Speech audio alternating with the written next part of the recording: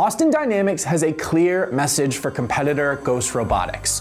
Do not steal our robot dog. Boston Dynamics has filed a complaint in Delaware that alleges that Ghost Robotics has infringed on several patents that have allowed Boston Dynamics to develop their star robot dog named Spot. Boston Dynamics is an MIT spinoff that was founded in 1992 and is sort of the company that put robot dogs and robot robots on the map. In the filing, Boston Dynamics claims to have been monitoring Ghost Robotics movements over the past few years and explains that they have sent Ghost Robotics several cease and desist letters. Boston Dynamics specifically points out that Ghost Robotics Vision 60 and Spirit 40 robots bear striking resemblance both in design and capability to Boston Dynamics Spot. They write, quote, Boston Dynamics' early success with the Spot robot did not go unnoticed by competitors in the robotics industry, including Ghost Robotics.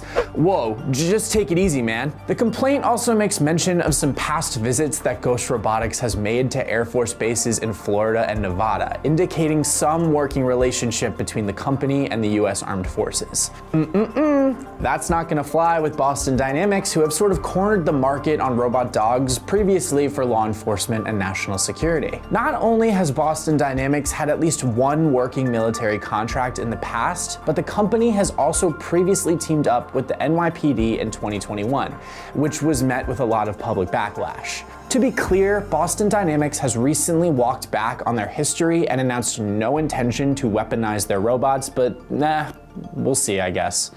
Do robot dogs creep you out, or do you think they could become man's new best friend? Let us know in the comments below. Don't forget to subscribe to our channel and check out other Gizmodo videos here on YouTube.